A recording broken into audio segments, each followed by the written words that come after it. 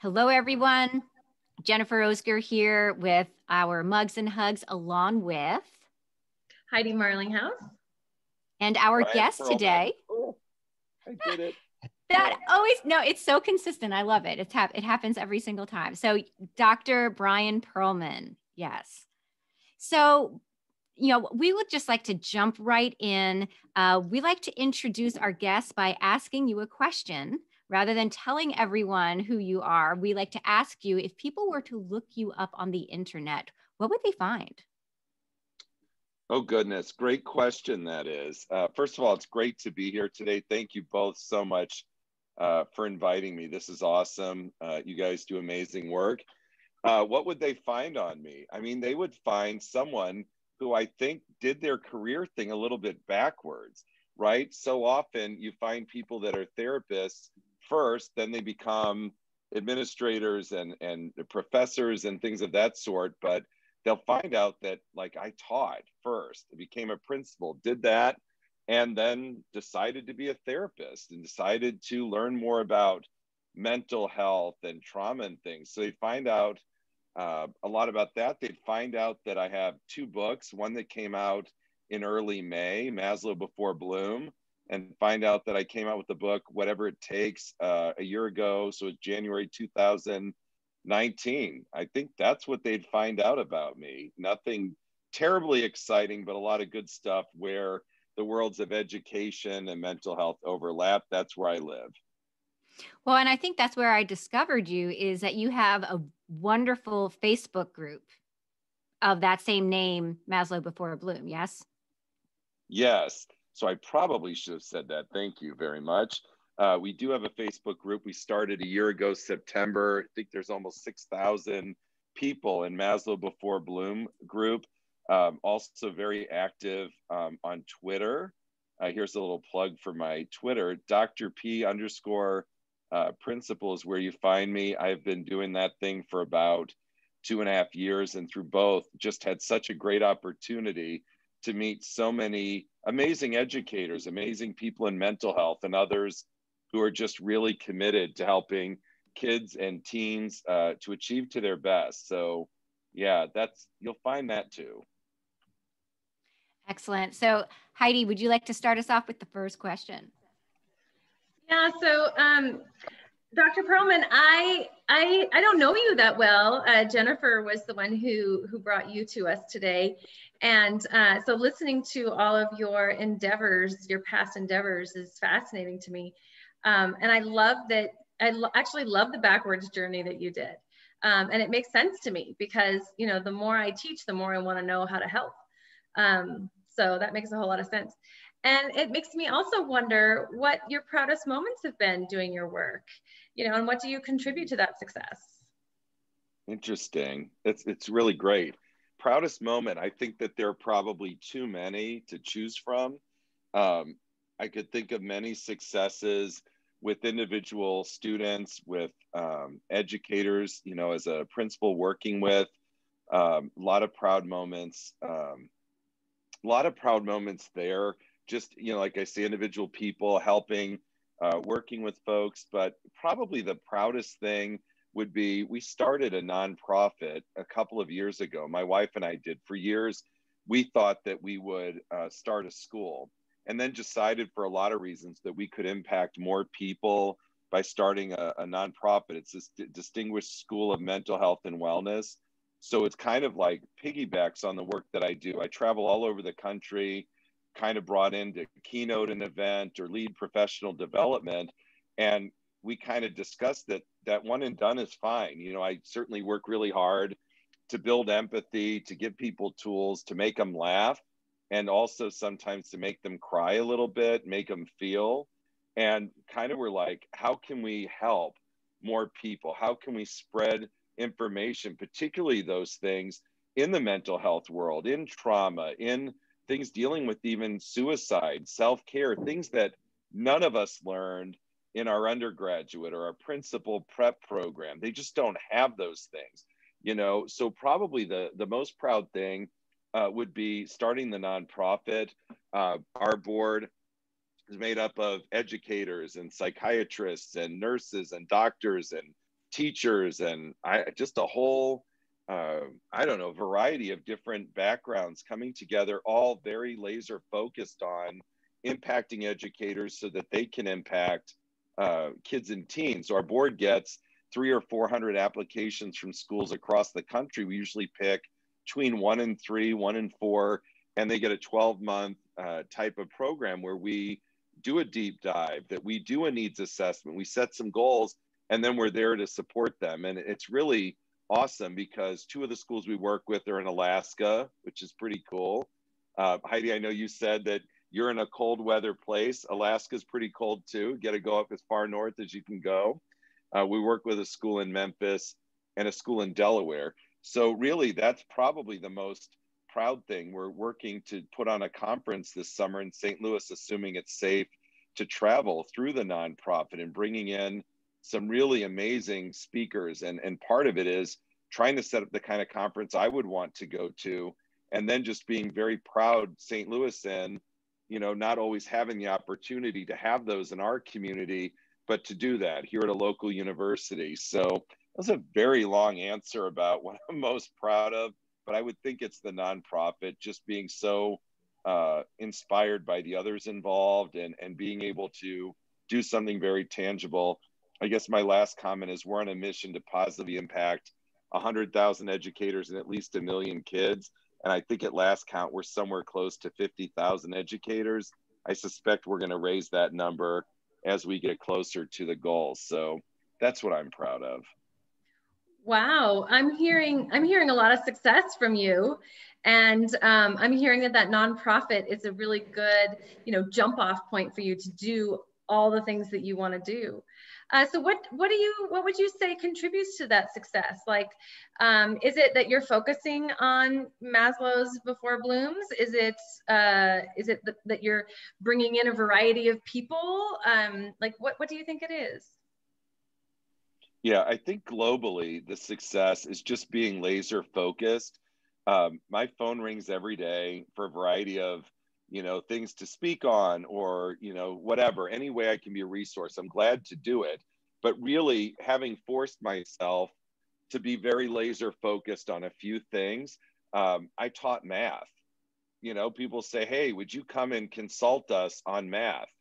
That's one of the things that i say no to. As much as i love it it's not really in our focus area.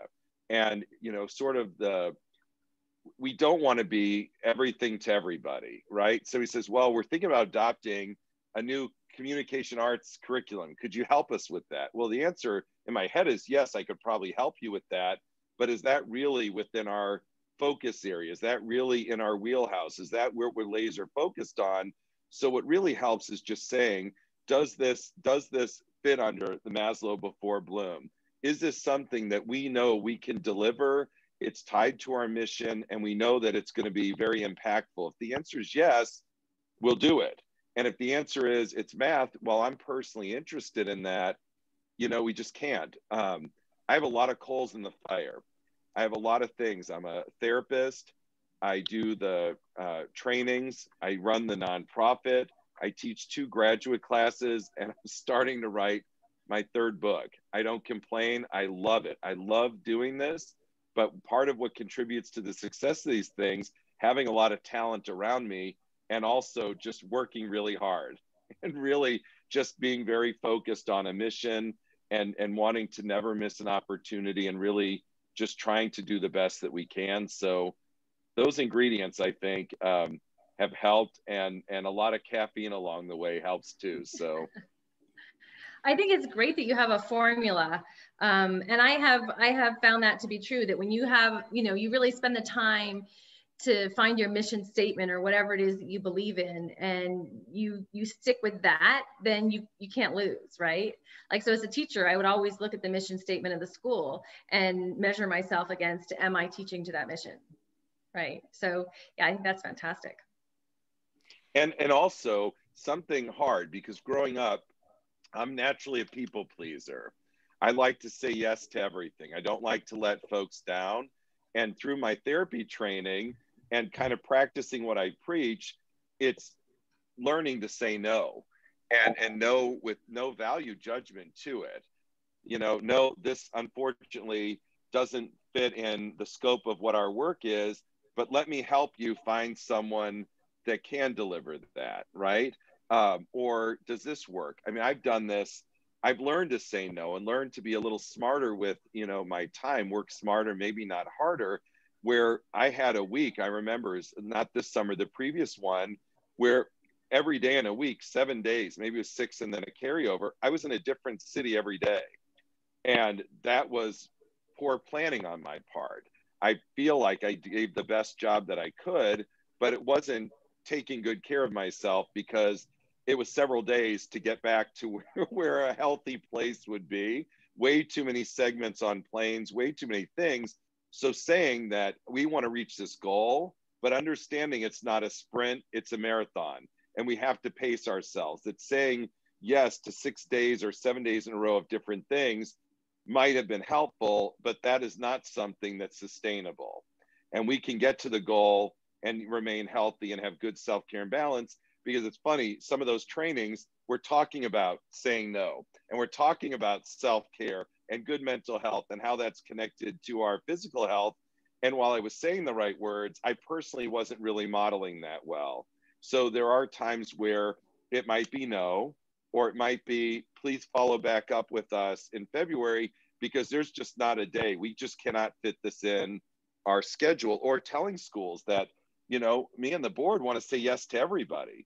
We all, yes, we want all these schools. And then logistically, you start spreading that out. It's like there is no way we're going to give the high quality uh, and and be impactful by doing 20 schools. We it was hard for us to say we're only going to take between one and four schools per year and that's hard being someone who wants to hit this goal and wants to impact people and it's our life mission being able to say i want to be here and upright you know in years from now to be able to continue doing this that we have to say no or not now and let's revisit it later well i feel like i've learned so much from you in such a short amount of time and what i appreciate is that you have this very whole system, this large vision, and you, you see it from a high level. And yet you also can really zero in on the minutia of the individual decisions you make to get about those results that that you want in in the the big picture. So that that is a really delicate balance and I like the way you unpacked that. And I'm always going to be keeping that in mind too because you know as we starting out um, you know there's this tendency to want to just like throw everything out there and see what'll stick and and but then to realize well which which relationships is there alignment with and a synergy that will be you know really quality to to get to get us to to where where we want to be so thank you and i'm wondering you know in having that that type of view where you have that laser focus recently over the past couple of weeks months what are you most passionate about that that you're laser focused on right now? You know, it seems like um, I'll start by saying the education world. It's so impressive, so impressive what was done that people were able to turn on a dime and literally across the country, across the world, move remotely. And it wasn't perfect.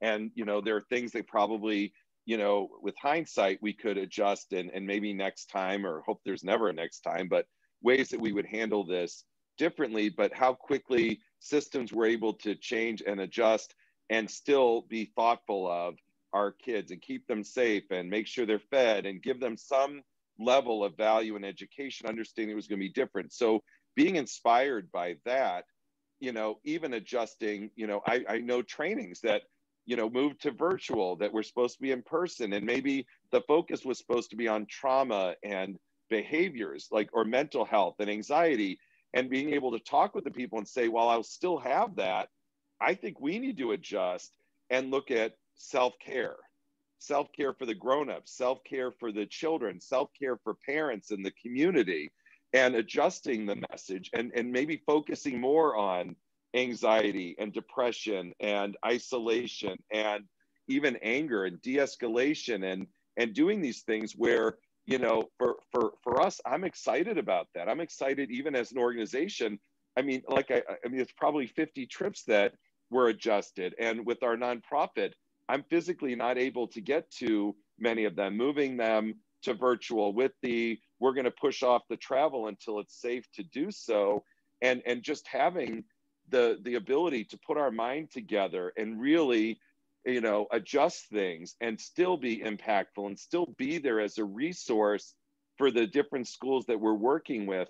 And and just saying that we're here i know we were supposed to be there we're going to do a remote we'll do something in the future but i'm still here that's not something that that I will skimp on. Somebody that they're my BFF. If we've done a training together, or if we're working through the nonprofit, we're BFFs. Which I don't even know if anyone says that anymore. We're together forever. We're there. So reach out. You know, uh, text me, call me, email, whatever, and let's adjust and let's do what we can and be as impactful. That's what makes me proud. It makes me proud that the board is supporting ideas that we have and, and ideas of adjusting how we're doing it An idea of, of doing a conference in July, this upcoming July, and being supportive about putting together an amazing uh, group of, of speakers and a location all, but still having built into it that we're going to be making a decision in May whether we move remote or whether we postpone. And we've already baked that in. So just being proud that in a challenging time and an uncertain time and a hopefully once in a hundred years or more time, that we were even able to adjust and still be able to serve the people uh, that we want to serve and still be here as an important resource in the community. I, I love to plan for the unexpected and I pride myself on analyzing things. I'll tell you what, I wasn't ready for COVID. I really didn't even know what a COVID was before December or January. So understanding that literally could have been hunkering down and shutting everything but making a real conscious decision that we're here, we're available to help. And if it means retooling and changing and you know even digging deeper and even asking organizations this is what we normally do what is it going on in your community or in your state or with your organization how can we adjust what we're doing to best help you and be most impactful that's what i'm really proud of. Um, and and just having opportunities to to push ourselves and step out of our own comfort zones um, and explore different things. And sometimes it's great sometimes it's a work in progress and that's how we grow and learn and serve people. So that's what i'm most proud of. Well and as i'm hearing you talk about all of that i i heard lots of flexibility lots of adjustment um, lots of resilience and really you're applying the skills that you are teaching. So I just find that really, um, you know, the, the usefulness. You are the example. You are the model for for those skills that you are empowering other people to have. And I think it, it, you've hit it, the nail on the head. In this role of, of doing professional development or as a nonprofit supporting as an educator, as a, as a therapist, so often it's like we're part of the journey too. We're learning and we're exploring and we're we're doing it both ways. I, as a teacher, I taught fifth grade. I truly feel like I was as much a facilitator and a learner as I was of a teacher. And I think that you know I'm a, from generations of teachers. That's my upbringing. My my people in my family are, are mostly all educators. That it's having that and, and making sure that we're always learning and at the cutting edge and trying to do that. So, and as a therapist role, like we have to practice what we preach. It's so much more impactful. It's so much more genuine when someone knows that guy probably has been through something similar. And it's not just saying, you know, I'm talking the talk, I'm also walking the walk. So I totally agree with you. I think that that really is uh, an important part of this. Yeah, and Bryan, I mean, the more you you talk about Thank your you past and your experience, I'm seeing that we have a lot in common. My parents are both teachers. And so I grew up around educators. All my parents' friends were educators. My my friends' parents were educators. Um, so yeah, that, that's really interesting. Um, and I also heard you just talk a lot about, like Jen said, like pivoting, right? And and making these adjustments. And I know that as a teacher, you're constantly doing that. I also taught fifth grade. Um, And Woo-hoo. yeah, that's a, it's a fun age group, right? I, t- I taught most of my career was in uh, the upper grade for elementary, so fourth, fourth, fifth. Um, but anyway you're always you're always shifting and pivoting as a teacher. You have to because you make these lesson plans and it never goes the way you think it's going to. And you know like the fire alarm goes off and you have to take everybody out you know to the field for 20 minutes and there goes your lesson or who knows right? Some kid has a meltdown. I mean it's always something. Printer um, printer's not working yeah the internet goes out. We're we're really good as teachers at learning how to to make those pivots. And so if that's what you're passionate about because that's what i heard you say is really uh, this adjustment that people are making during covid i feel like you probably had that beforehand um, at just being a teacher. How did you how did this journey begin for you in learning how to make those pivots and learning how to find the tools and the resilience to do that uh, that allowed you then to share it with others? Yeah, I think that it, it probably, we do have a lot in common. Probably a lot had to do with our time um, as teachers. That really, that certainly was the place. And, and you know, I started teaching before uh, smart boards and, and, and a lot of the other technology. It's kind of caveman, caveman time. Uh, but um, you know, you never know. It's like literally trying to prepare for the, uh, you know, unexpected and you just learn it. You just adjust to it and you just embrace it, right? I can get really upset and shut down because of things that are outside of my control. The power goes off. Like you said, the, the fire alarm goes off. A kid has a meltdown. Uh, I was in a building where there was a fire. I mean, it happens. You go outside, it's 12 degrees outside. You know, just just learning to be okay with that, learning to focus our energies on what's within our control. Um, you know, I, I, I was a tournament tennis player when I was younger. I played hockey, did other sports, and it's kind of like you prepare for everything you can prepare for, and then part of it is you, you got to play the game, and a variable changes, you have to adjust to it, right? So, so maybe part of sports uh, had a part to do with that. I was a a coach growing up, a, a camp counselor you're always preparing for the unexpected, right? You've got a great day outside and we're going to be out on the lake and and this and you have a, a tornado come through or close by. So I think that helped a lot. As I was further in my career, you know, becoming a school principal, everything, my best laid plans for the day never happened. It never happened. I, you know, you have a framework of I want to accomplish these things. So you get in two hours early so you can accomplish most of them and you stay late, but the day happens. And no matter what was on your plans for the day, you kitty elopes from the building and giddy up. You have to go chase them down and make sure they're safe, or somebody destroys a room, or you know, uh, two teachers get sick and have to leave, and you put back on that teacher's hat. And I taught fifth grade. Sometimes I taught kindergarten. Sometimes I taught preschool, and you know, you just have to be flexible that way and and and, and a lot has changed you know uh, I was I was actually when the the beginning phases of shutting things down for COVID, I was actually in a hotel in Arkansas, right, getting ready for a training, and my wife reaching out and saying, you know, for our practice, I don't even know how much Lysol we have or how many uh, wipes we have and hand sanitizer. How are we supposed to be open if we don't have these things? So like before a training, I'm running to Lowe's and I'm running to Walmart and stopping at convenience stores, trying to find anything. You just adjust to it and then making plans of, you know, as a practice, we're going to go remote for a while now and making those plans. And I've been using Zoom forever, but training others in the practice and setting up enough accounts so everybody has one. Um, you just adjust to things, you know. I was doing a training, a keynote address, and right before me, the power went out in the entire building. Okay, well, uh, I'm here. What's the plan? We're going to get it back up. We're pushing everyone back a few hours, making adjustments, changing the flight thing, changing. Maybe I need to stay over another night. You know, you get iced in. I got iced in in Boston from a training. It's my hometown, you know, where I'm from originally. And you just have to. And you have to have that. You can be mad. You can get really stressed about things outside of our control or you just have to focus on what's in our control and what's one positive thing we can do and and just learn to embrace the uncertainty and if you can do that, you'll be really successful. If you don't, you may have to come see me because your anxiety is going to be through the roof. So, yeah, I think that's the best way. I think teacher prep did it for me.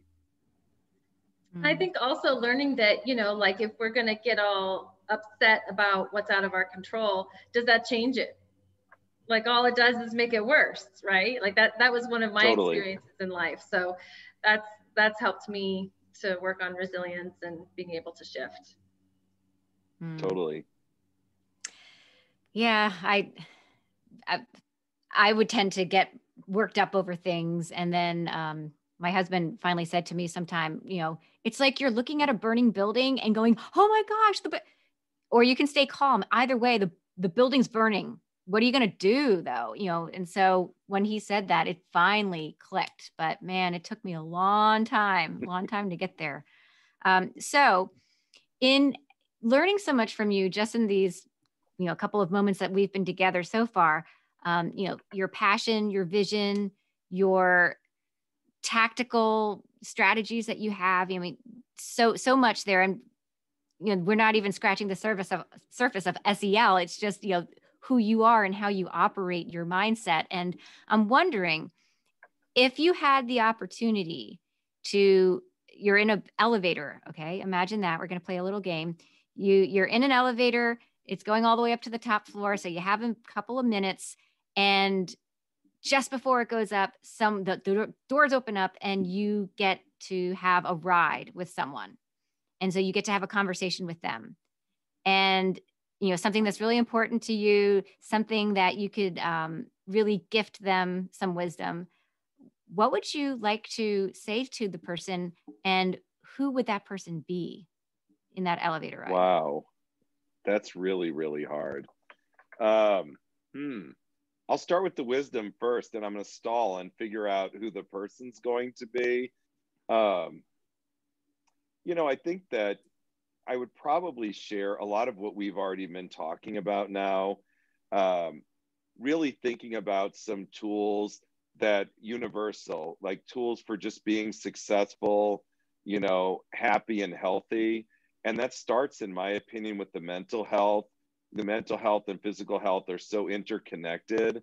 And just talking about you know just different strategies that we can use. One we just talked about is focusing on things within your control um, really trying to notice in ourselves the negative thoughts that come in our head. Everyone has them right? That cause anxiety. Everyone has anxiety a little bit right? And really just trying to help them identify and give some strategies to spend a day recognizing how many negative thoughts come in your head.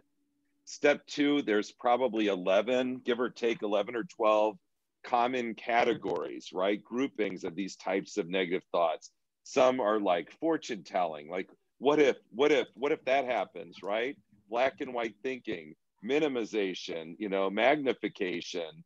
I might have said black and white thinking, but there's uh, like 11 or 12 of these things and helping someone you want to be less anxious you want to be happier you want to be healthier first way is to identify how many of these negative thoughts you're having in a day next step is labeling them figuring out where your clusters are because everyone has a few that we do all the time uh, like mental filters, a good one mental filters, the idea that you know one tiny negative thing happens you might have had the best day ever and one negative worst day ever life sucks, everything's terrible, right? I use the example. I took my grandmother to the art museum before she passed away. My favorite painting is Monet's Water Lilies. I'm literally having a religious moment in front of this thing. Like angels are singing to me. Oh, I'm taking this thing in. And I look over at my grandmother, expecting she's sharing this moment, and she's pointing at the bottom corner. There's a, a little piece of paint that chipped off over there. That's mental filter. Are you kidding me? Look at how amazing this is do we want to take in the beauty of this thing, which is our day, our lives, or do we want to harp on the one tiny little negative thing that doesn't matter anyway?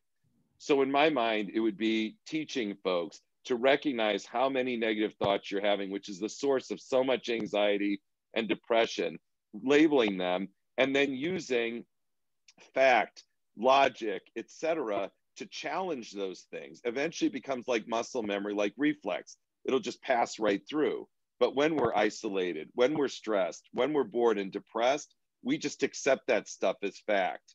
Okay. And we're not doing that anymore. We're going to stop that. So I would probably talk a lot about that. I would talk about our window of tolerance that we all have. And, you know, some people might, we might encounter are one step away from a crisis all the time, one step away from this big emotion. And when you're experiencing that big emotion, you're no longer able to reason and critically think and problem solve.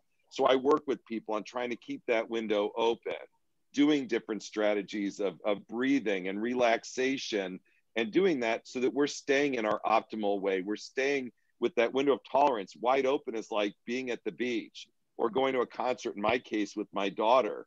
Life is great then. So really i think just in that this is a long elevator right i'm given a lot of information. Really just it's, it's some of the keys to, to just being happier being less anxious being in a more positive frame of mind and and if we do this even if we just take one small step forward we're 1% better a day. It's not going to take long before we just naturally are happier more positive more able to focus on things and work through things. When we hit that crisis mode or that window slams shut it's why people have road rage. We're welcoming that adrenaline into our system. And adrenaline's great when i visit alaska because there are bears there I like having adrenaline because I'm running from that bear. I don't want to get chewed up, right? We, everything gets just to survival mode. That's great when you're running from a bear. I don't even know if you're supposed to run from a bear, act dead, or I don't really know, but I'm running. It'll help you to survive that. But like when you're in the classroom and you're feeling that same fight, flight, or freeze, it's not a good feeling. It's not a good feeling to feel it come up through your body. You start feeling you're becoming the Incredible Hulk nobody likes to feel that way. So that elevator ride would just be about, you know, probably just staying chill and staying calm. So I bought enough time. I want to go on an elevator ride with uh, Abraham Maslow and Benjamin Bloom. They inspired a lot of the work that I do. I love the phrase Maslow before Bloom. So I'm cheating a little bit. I want my my pal Abe and Benny on either side and just have a really nice talk with them about what inspired you know, uh, hierarchy of needs and taxonomy. That was a tough question. I was going to buy as much time as I could, but I did think I figured that one out. Yeah, Bryan, I'm I'm really uh, kind of taken back. Our subscribers have heard this before, and I know Jen's heard it a thousand times from me. But everything you just described is why I became a teacher, right? I struggled in my youth with my own emotions and uh, depression and all sorts of things because I didn't have the knowledge. I didn't have the knowledge about my brain and that my brain is actually just doing human things, right? Like this is how I'm desi- how we're all designed, and I'm not any different than anybody else in that sense. Um, I didn't have the tools to deal with it right? I didn't understand the um, anthropology behind it or the biology behind it. I didn't understand any of that. So I, I went on a personal journey starting in my early 20s to kind of figure all that out. And that's how I became resilient and started healing and accepting of myself. And so I really wanted to bring that to students. I mean, why not? Why not have them be taught those skill sets instead of having to go through the trauma and the drama that I went through to figure it out because not everybody gets through it either. You know, some of them turn to drugs and alcohol, or some of them turn to anything else that is, you know, uh, self-defeating. So, um, so yeah, so that's why I that's why I became a teacher. Not not to teach academics, but to teach those kinds of skills. And academics was the vehicle for me to get there. Um, it's so, so important what you just said. In, in part of the work and I it's designed for the kids I serve, but also grown-ups and families. I have a sheet I work through about recognizing signs of anger in yourself. Your body does a great job telling you things. We are terrible at picking up on them. Okay. Uh, it, it, I mean, just things like you can just literally. So I ask people, do, do you start feeling hot? Oh, yeah, I do. Does your heart start racing? Is your breathing more shallow? Do you start clenching your fists?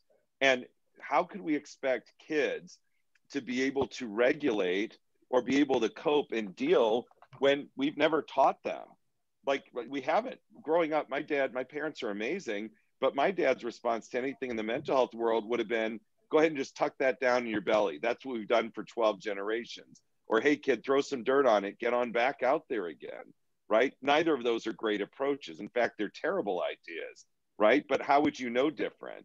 So it's really explicitly teaching these things that are such incredible life skills. Maslow before Bloom, basic human needs first. Doesn't mean I had some guys say to me, So, what are we all going to just sit around and sing kumbaya and talk about each of our puppies dying? So, maybe by January, we can have some academics. And I thought that was the stupidest thing I ever heard. I said, I never said that. We are in the academics business. The teaching and learning have to keep going. But if someone's hungry, if someone's tired, if someone is scared, we really address those things first, right? Give a kid something to eat. Let them to take a nap if they need it. Help them de-escalate, process, feel more safe, have that connection. The learning is going to go sky high. We literally have the ability to help change someone's life trajectory and maybe even save a life. It's so true and it's so valid. What you said is exactly right. And I know your kids, the students you served, were better for it, right? I've had people say to me, I can't fit it in, or where's the binder? Can I get the binder? Don't you have the little thing? Can't I just make a copy? So, like every third week in January, that's when we do the SEL, and I can check it off and we don't have to do it again. That's the, the worst approach ever. Okay. And so, yes, if we have to sing kumbaya, and yes, if we have to hear about someone's puppy passing away, and yes, if we have to process through someone's emotions, not only are going to help them be successful now, we're going to help them be successful in life and learn that grit and that determination and that perseverance and love and empathy, kindness and compassion. That's more important than history and spelling and math computation. It's critically important things, right? I don't remember much about high school. Like the most important thing, I think, was typing class because now I can type on the computer real well. Okay but it's that relationship. It's that one teacher, I can remember Mrs. Rivers right now, who saw in me something that I didn't see in me and helped me see this is the right path. And here's the step you can take to get there when I didn't think that that was even possible. At 16, if I could have dropped out, I would have. Okay. My dad's like, You're not dropping out because if you do, I'm throwing you out and you're going to go work on the road crew. And neither one of those sounded very good. So I stuck with it anyway. And it was someone like that teacher, all of us has it, that maybe didn't even realize how they were teaching SEL, how they were building hope and helping you see that potential. And that's what we're paid for. That's what our calling and our passion is. It's not how many words we can get kids to get right on a spelling test or how well they're going to perform on the high stakes test. It's, it's what life skills we're teaching them so that when it's their turn to fly, they soar instead of crashing. I totally agree with you.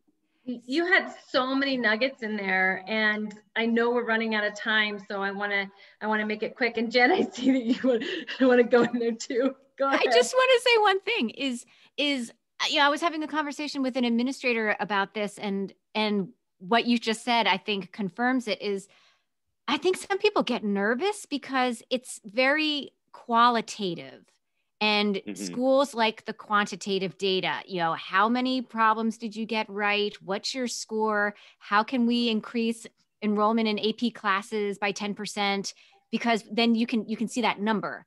But my my thing is if we focus on the qualitative the quantitative will will follow.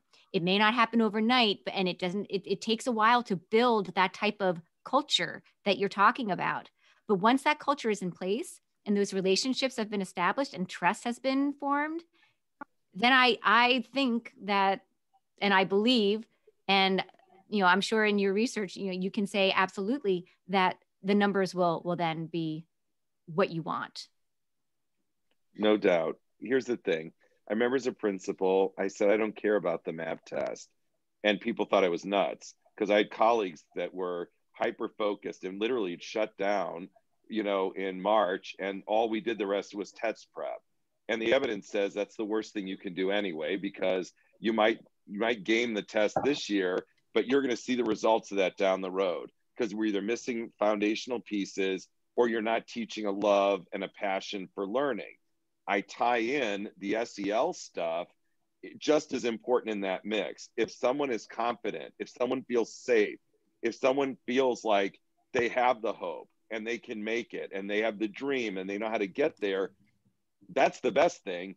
And the scores are going to be there anyway. If you have the we ta- bell to bell and we're always going to be and going to the bathroom, we're still going to be quizzing you on stuff and you're making education not very positive and and it's not something where we're taking the time to to check on people right to see how they are the qualitative pieces you're not going to get the results anyway right i i had someone say to me um, i love what you're saying but where's the data and i'm like i have plenty of data i can to- totally show you i can quantify anything i mean i'm a math minded person i'm a quantitative person in a qualitative zone you can do both I've learned to walk and chew gum at the same time. It is possible to do that.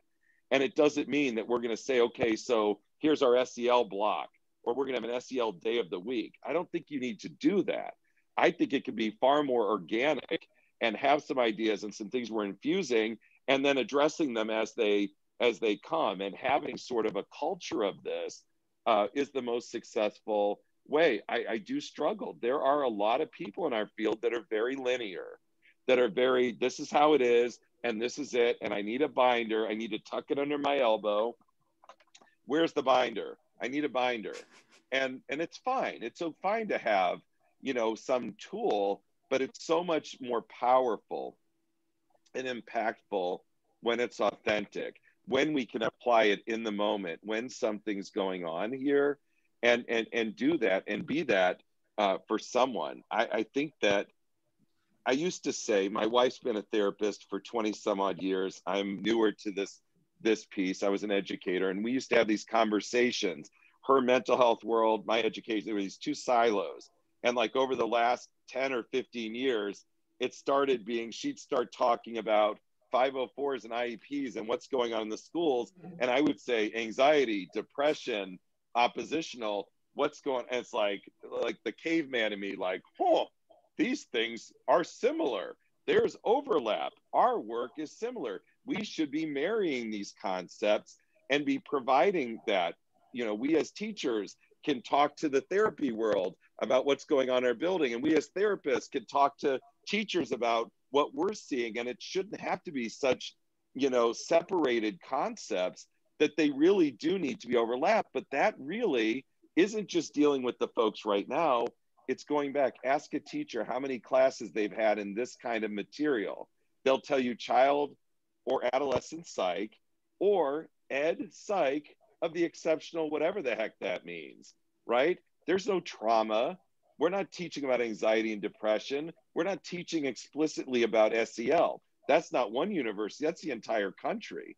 I spent a year rewriting curriculum that I'm teaching now at a local university that's infusing trauma behaviors, problem solving in these areas, and building hope and these sorts of things that we just we've been great at teaching math and teaching science and teaching language arts. I, I took a class on teaching music in the elementary school.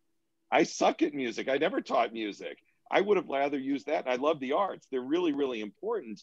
But for a gen ed fifth grade teacher, I needed that other class. I needed the the helping deal with a crisis with a kid class more than teaching music or teaching art or teaching PE.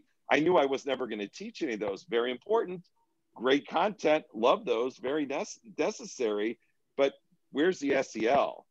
Where's the mental health? Where's the trauma? Where's any of those pieces? I feel like we're getting better at it. We're kind of doing the trainings, top down, catching people in the field, and we're starting to see more within the colleges. So soon it's not just a binder it's not just that one class it's infused in in everything that we do so you actually and we just have real short now but you actually tied into exactly what i was going to ask you next. And and a lot of what you said earlier about you know they want the binder or, or just the lesson you know for me i had to learn mindfulness for myself first and i had to learn it out of a binder or a curriculum or lessons right? But then i to use it in my personal life. And people questioned me when I started teaching it. People talked to me about the whole kumbaya thing. You know, I was approached that way. And um, for me, it's more like, no, no, this is just what I embody. And so as I'm teaching math, as I'm te- teaching lit, as I'm teaching history, this comes out right? So it's not just like you said every two weeks or that you know half an hour a day kind of thing. It's it's constant and it's alongside the academic. They're not separate. They're all enmeshed in one. Um, and so i'm hearing you say that you know that's starting to be taught more in the colleges which then is being brought into the schools. What more can we do to bring this part of education into our school system so that it's not such a slow trickle effect that we're having right now. And it is more mainstreamed within all of the academics and everything that we teach students already. So you've given me the greatest challenge today because we have one minute left and I'm going to give you a semester course in a minute. Okay. So, so um, my belief with this is we have to start small. We have to build success. We have to get people who are comfortable with this confident with it. When those things occur, when people see the positive results, more start to jump in and want to be a part of it. So, and, and it's making it approachable. And it's not setting the goal that you have to have a PhD in some mental health thing to be successful. We're setting the bar too high. Change is scary. And, and, and if, make it afraid, make it something that they're out of their comfort zone. They're out of their window of tolerance. So they're not going to be successful. So it's starting small and helping, hold hand, holding hands and scaffolding our way through it. If we do that, and if there's successful models, everybody's going to want to be a part of it. We start somewhere, start small, and work our way up. Eventually, it's not going to be this independent thing. As you said too, it's just infused in everything that we do. That's what I would recommend. I love that. And I want to just say, I think in starting small, it starts with the, the administration at one school. I don't think starting small is with the teacher because I've tried that and it didn't work because I wasn't mm-hmm. supported. Um, and then there's just too much pressure for others to do whatever the administration is requiring. So I think if we start small by changing the minds, or not even changing the minds, but um, educating and enlightening the administrators so that they can support their staff who often already know how important this is. Well, exactly. Thank you so much. We we know you have to go. We normally ask you what questions do you have for us, but what we could do is you could we're going to give you the recording to this. You can maybe if you feel so inspired to put it on and here's another plug for your Maslow before Bloom for your Facebook and maybe you could ask us the question on the Facebook and maybe Heidi and I could answer it there. I would love that. Thank you so much. And just like an educator and just like a therapist, everything's stacked up. And yeah, I'm going to run because I've got a therapy client ready to go. It has Thank been you. amazing. Thanks you guys so much for All having right, me. Thanks for being with us we today. can have a conversation later. All right, bye guys. Thank bye. you. Bye. I think I got the print screen.